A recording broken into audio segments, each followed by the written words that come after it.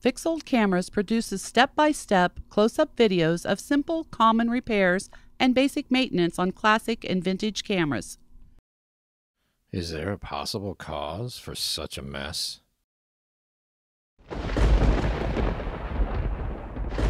A disclaimer.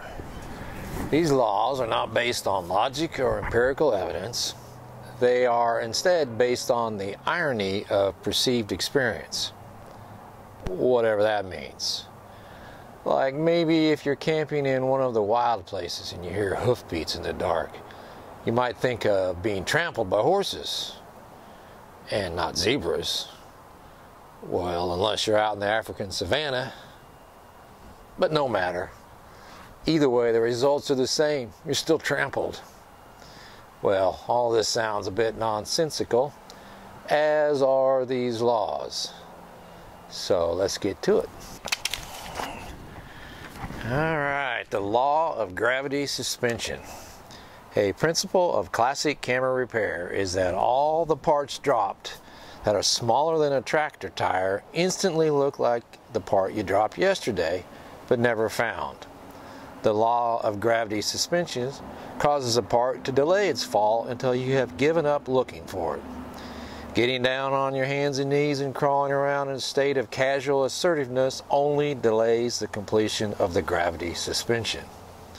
It is futile to immediately perform said task, as the only chance of recovery is to wait until another day when the part might show up in a place far removed from the original incident.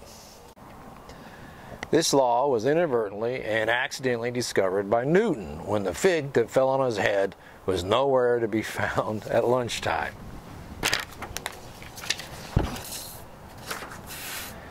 The second law of camera dynamics states that a camera comes apart far more easily than expected, except when it should, with mechanisms containing far more parts than ever imagined stubbornly held in place by frozen screws and retainers, which, upon final release, allows this mechanism to leap spontaneously into a massive entanglement that was never thought possible by the designer of the said mechanism. The second law of camera dynamics, also known as blankety blank blank blank dynamics, insists that the mechanical universe of a vintage camera tends to disorder with a devilish single mindedness when its gears, levers, springs are released from their constraints.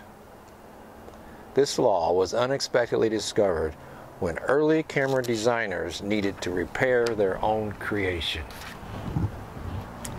Well, that's all, folks. Until next time.